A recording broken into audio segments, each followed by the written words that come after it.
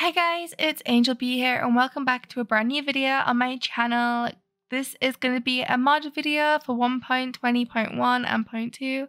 These mods are also compatible with older versions of Minecraft. You'll have to check the descriptions and click on the links to see if it's compatible with the version you use. It most likely will be.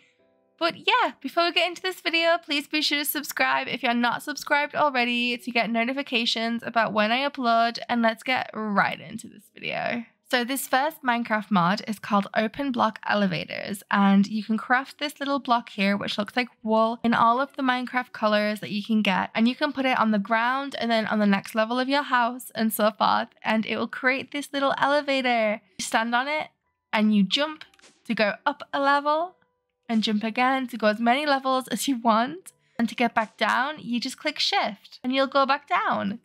You can make this block invisible. You can camouflage this block by taking the wood you want, right clicking it, and now it be camouflaged.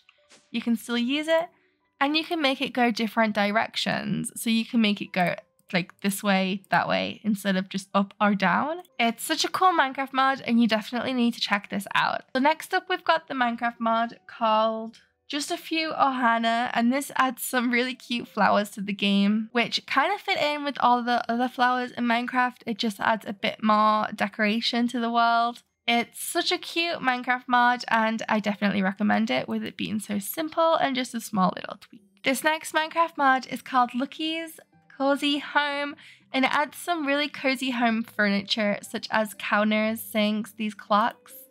If you right click, it will tell you the time little chairs, tables, a few decorations, this little mirror, which is really cool. You can see our skin. We've got these chairs, which come in so many different colors. It's kind of like a large couch and you can sit on them, as well as this chair here, which is work in progress. It's like a glass chair.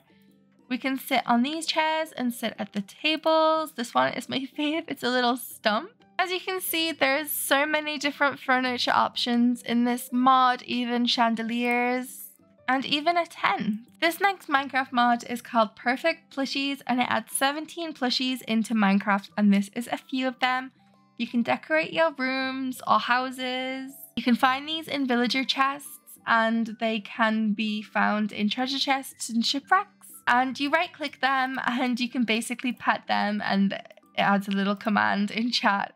They're just decoration purposes. They look super cute and just add a little bit of decoration to your world, like even this one. So this next Minecraft mod is called Kitchen Kahoot, and it adds a whole bunch of food options to the game, including this air compressor. It is a lightweight cooking mod that lets you put plates down and you can place items on top of plates. For example, here, sirloin steak, we can place it on top of the plate.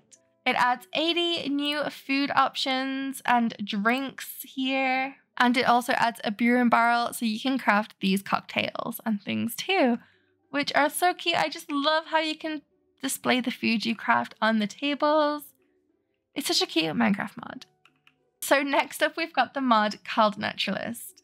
And this adds a whole bunch of new creatures to the world, such as these butterflies and these hippos, which are my favorite in the game. They look so cute.